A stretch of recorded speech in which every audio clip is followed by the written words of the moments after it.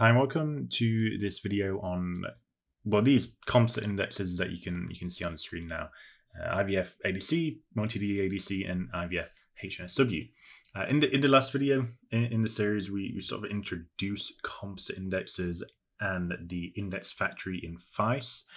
And what we're going to do now is obviously go through each of these and, and build them uh, using what we learned in the last video, the index factory.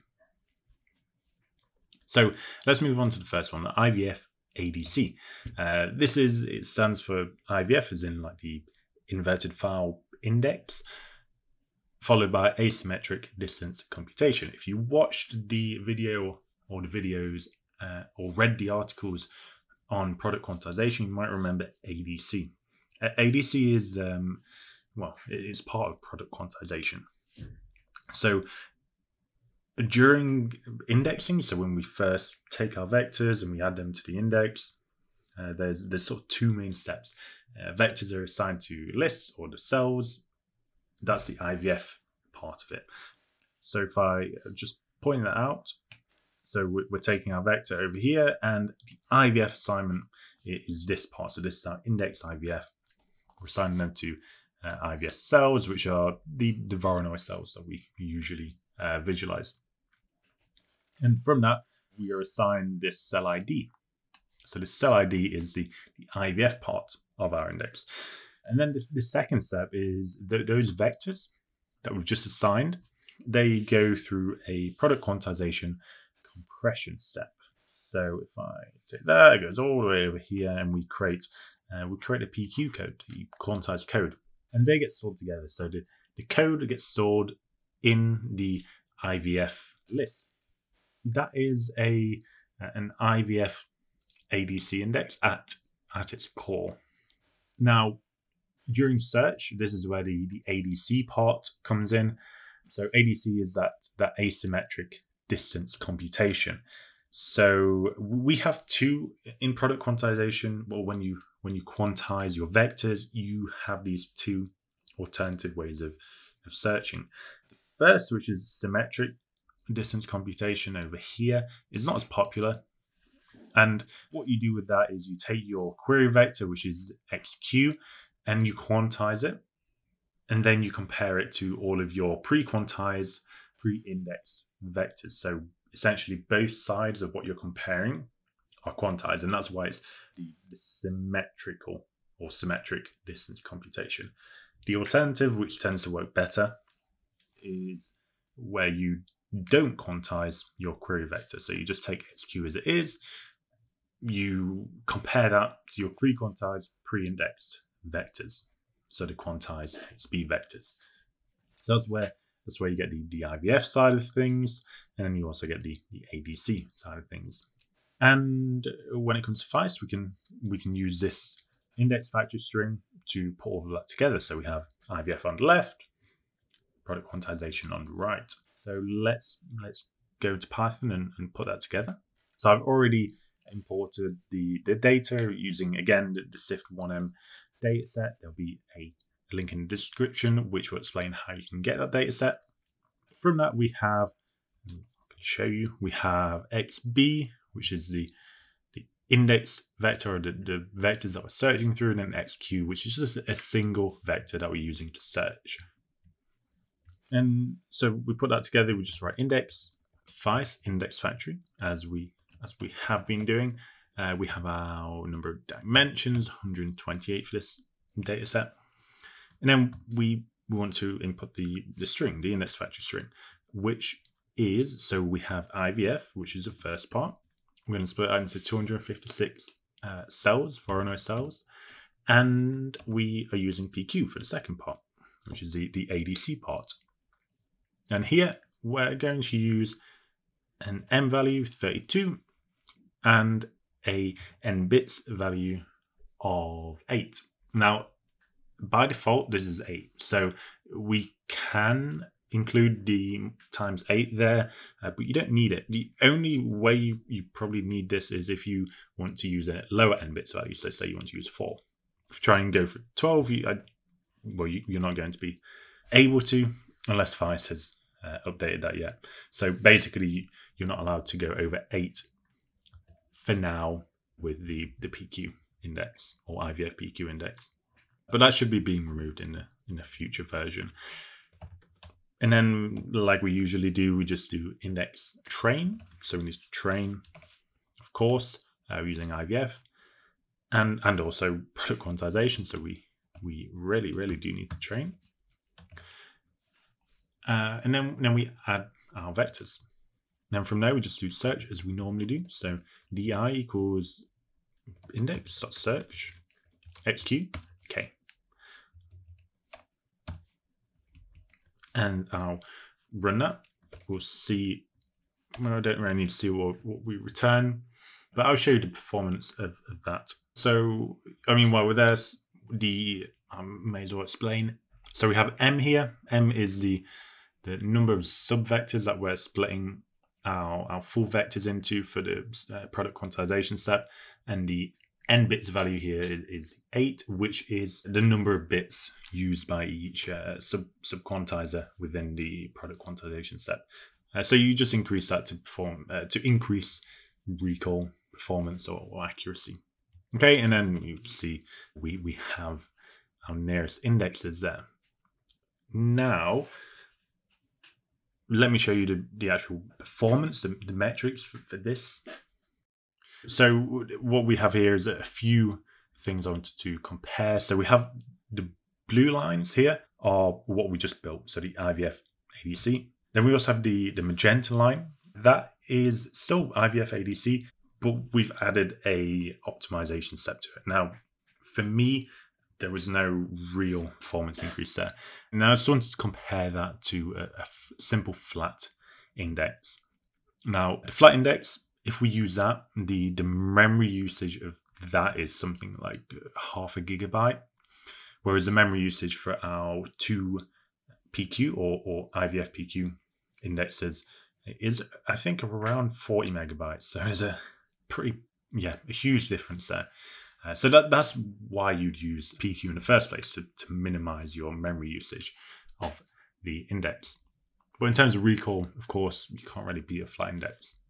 So uh, let's move on to the next one. Uh, so we have multi-D ADC, which is a multi-index asymmetric distance computation. So the, the ADC part is the same. So we know, okay, there's product quantization in there and the multi multi D part is what is different. So this is based on IMI, which is a inverted multi index, and IMI is similar to IVF, but it where we have our Voronoi cells in IVF, IMI uses product quantization to split your vectors into subvectors and then process them through that Voronoi cell or, or cluster them using Voronoi cells.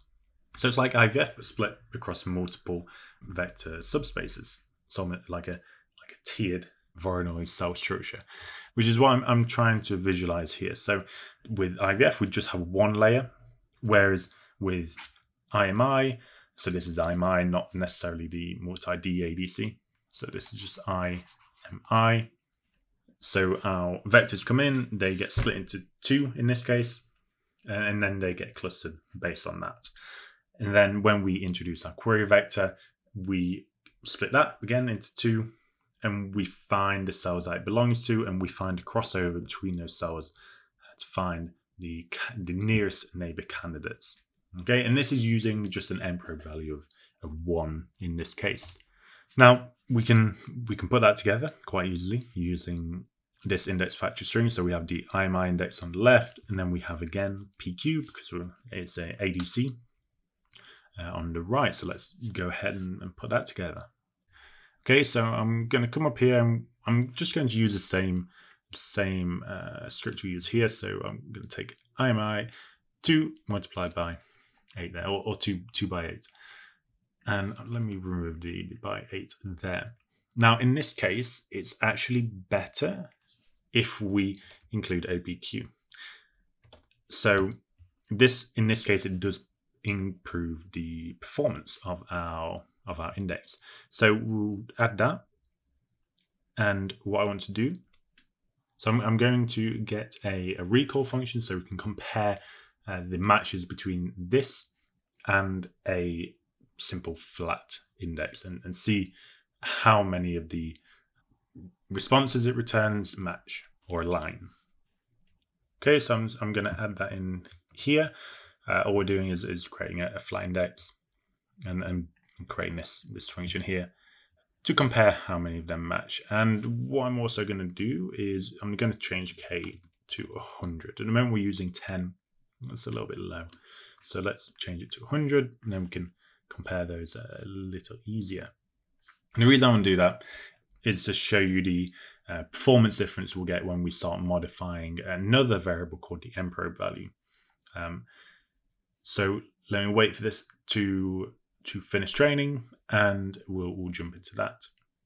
Okay, so that uh, that's finished now, and we uh, so we've run this. I can can compare or do I? Yeah, yeah. Want to do this, and I'm going to call recall on here, and we'll see what it is. So we get five percent. Okay, that's pretty terrible. and uh, the way that we we can improve this is by increasing the nprobe value, so the number of cells in our IVF index that we're searching. The only problem, so well, let me show you what we normally do is this. So we'd write index nprobe and we set this to a, higher number. Uh, but we can't actually do that anymore because our index consists of, of, let's say, multiple indexes. So if we were just using this part, it would be fine. We could do that. But because we've added OPQ, we can't access nprobe in a normal way. So we have to um, we have to use something else. And that is, if I write it out, it's Faiss extract index, and we need to write IVF. I know we're not using IVF, using IMI, but uh, we use this this here uh, for both of those, IMI or IVF, whichever one you're using. And then in here, we just pass our index. And then from here, so this is kind of extracted the IMI part or the IVF part of our index. And that means that we can now set the nprobe value. So we, we're going to set that to 14. And what we can do is di equals index search again. Do xqk. And then we do recall. Hi. And get 44%. So it is increasing. Now, what happens if we say increase that to 100? We get 69. So you see as we keep increasing this number, uh, the performance or the recall increases as well. Okay, so 69 looks like uh, the max we're going to get there. Although in reality, you've sort of tested this before, you, you can definitely get higher uh, than that. You should, in fact, well, slightly higher. You should be able to get up to about 75%. So, I mean, that is that is that index. And through this, we, we do get very fast search times. Uh, so you see here 0.2 uh, is, is uh, faster, I think. So time it, index search, and we want to say xk. And let's reduce this, let's say 50, see if we still get a, okay, 60.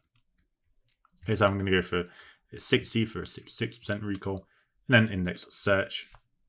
And this this loops through multiple times to get the uh, the average speed, and, and we get 379 microseconds, which is pretty fast.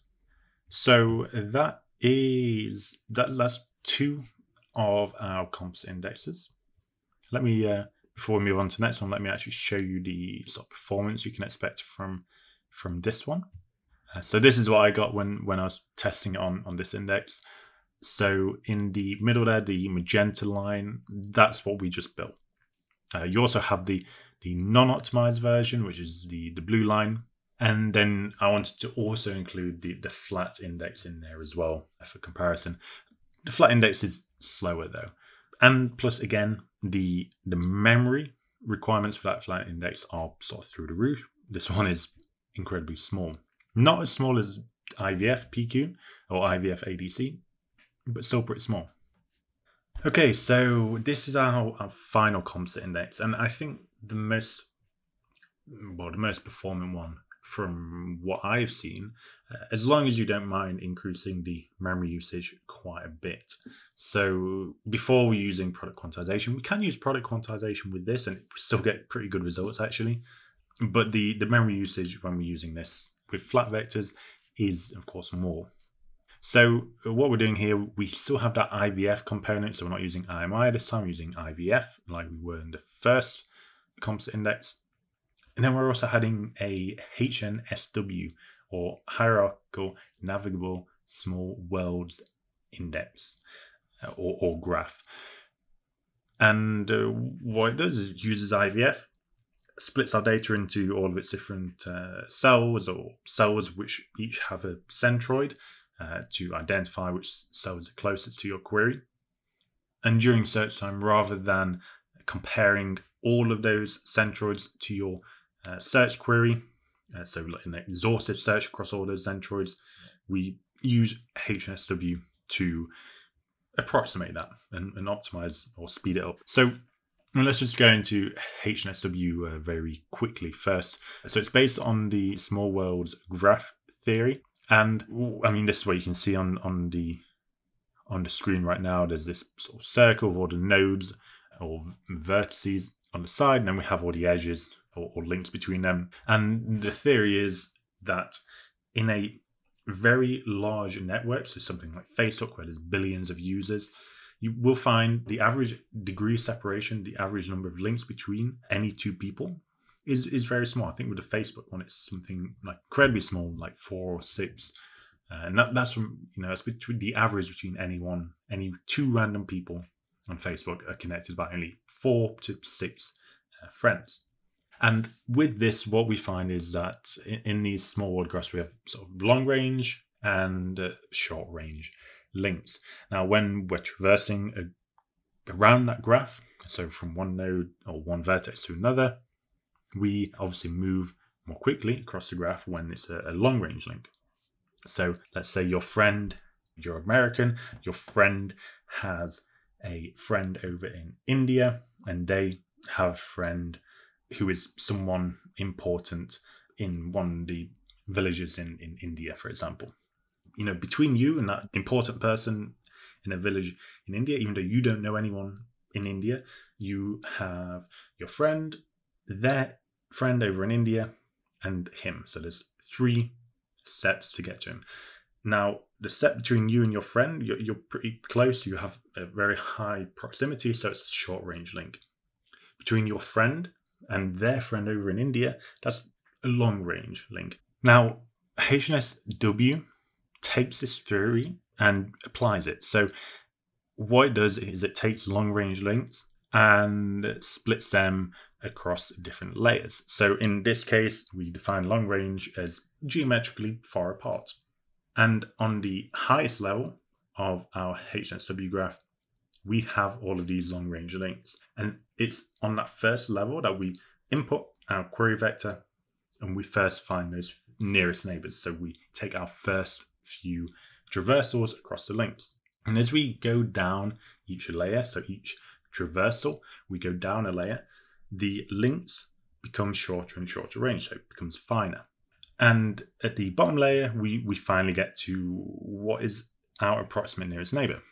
Now that's what you can see here. So we start those the entry point on layer two, which is our, our entry layer. That only has long range links, so we can make a, a big jump from our entry point over here over to here. Then we're on to the next step. So we move down a layer down here. And then we go, okay, where's the where's the nearest neighbor now? Uh, it's over here. Okay, so so we go there, and then we're on to the next step. So we we again want to move down a layer. So now we're on our bottom layer, and this is our final step. And say, okay, where's where's our nearest neighbor? Uh, it's over here. Okay, and then that's what we assume. We assume that this vertex or node is our nearest neighbor to our query vector.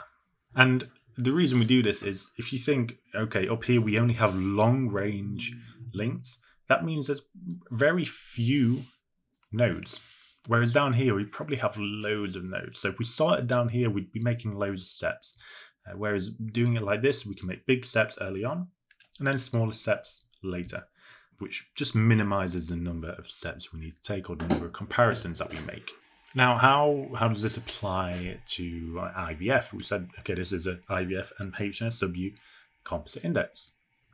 And this is what you can see now. So that HSW process that we just went through, imagine all those points or those those vertices, all of those are cell centroids from IVF. So what we're doing is rather than comparing exhaustively comparing all of those cell centroids, we're just comparing a few of them, or, or we're finding the approximate closest or nearest neighbor very quickly, and then we limit our exhaustive search scope to that single cell if, if the nprobe value is, is one. Obviously usually it's not going to be one it's going to be greater.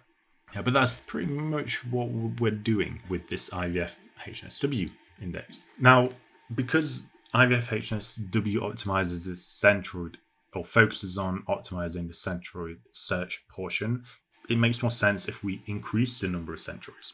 Because if we increase the number of centroids we reduce the number of uh, vectors within each cell. And because our optimized search point here, or the approximate search, is the centroid comparison, and then once we're in those centroids, we're actually comparing all of the vectors in there. So we're performing an exhaustive search on the scope that we do uh, create. So what we do is we increase the number of centroids because that's the optimized portion, and we reduce the number of vectors that will return in our in our final scope because that's the unoptimized part of uh, this search. So to put all that together, we're going to use this string, uh, this index factory string. Uh, in, in, terms of increasing speed, like I said, we would just increase this number here, which we will see. I'll show you another graph in a minute. Okay, um, so let's go up here. Uh, we'll, we'll, I'm going to compare, sorry, I'm going to modify this. So we're going to go IVF uh, 4096 followed on, with an underscore by HSW32. And what this means is we're creating uh, this many cell centroids or, or cells, and this 32 is how many connections or links each node or, or vertex has in the HSW graph. Uh, and then after that, we, we, we're using flat index here. Now, I said before, we, we can use PQ32, for example, here, um, but the, the accuracy, the recall won't be as good. But you can use that, right? So if you if you need to reduce the memory usage with this, and it is very good, by the way, using PQ, uh, still you still get very good recall. Uh, you, you, can do like that, like that. Now let's run that. Uh, we will do the search again. We'll check the recall, see what we get. Okay, so that has just finished and we get this recall of 25%. And now again, we're using the, the nprobe value of 1 by default. We probably want to increase this. So we'll come down here. Uh, we, do, we don't need to change the, the variable name. I'm, I'm just doing it um, because it bothers me leaving it as, as IMI. IMI. Um, let, let's go 60 again. I mean, we do have a high number of, of cells here, so probably want to increase it a bit more uh, than that. But you know, let's go with that, see what we get. And uh, we get 93%, which, okay, fair enough. That's pretty good. Like straight out 93%. That's nice. So let's you know time it, see how fast that is. And you see, okay, so before we were getting with with the multi D ADC index, we were getting I think 364 um, microseconds. Now we're getting 544, a bit more, but it's hardly anything. And I mean, we're getting 92%. Before we were getting, I think, six, uh, what do we get? 66%? so, but of course, at the same time, the memory usage for this is it's like half a gigabyte. But we can reduce that by, uh, instead of using flat index, we just change it to PQ32. Not like that. Uh, we change it to PQ32, and, and that improves it a lot. But we're not doing that here. We're just going to leave it flat. Uh, and I mean, let's just so if we, for example, we know that the maximum number of cells here is 4096. Let's do an insanely high number, and this is the maximum performance that we're going to get out of it. So 100%, right? Because we're using flat vectors, we, we can get that 100% point. So, yeah, we can get very good performance, like 89% there. And yeah, it's super easy. Uh, so, look, 432 microseconds. I, I mean, for me, I think that's very good. So, for that reason, this is definitely one of my, my favorite indexes. It's just, again, the, the memory usage is, is high. So let's have a look at the, the actual performance, uh, search time, and recall. So included a few different number of cells here uh, for us to compare. So, like I said before, the optimal, the optimized part is the, the IVF part or the, the, the centroid search part, the number of cells. So we can increase the number of cells and that will decrease the, the search time, but also decrease the recall a little bit as well, but not that much. So you know you can you can modify it. You can increase the number of cells, IVF uh, cells, to improve the, the search time if you if you need to. Now, I, I mean that's it. I didn't want to cover anything else in the video. We've covered those those three indexes, uh, the I, IVF ADC, multi multi D ADC, and IVF HSW. Uh, with those, I think you can build some pretty cool indexes. So, uh, thank you very much for watching. I hope it's been useful, and I will see you in the next one.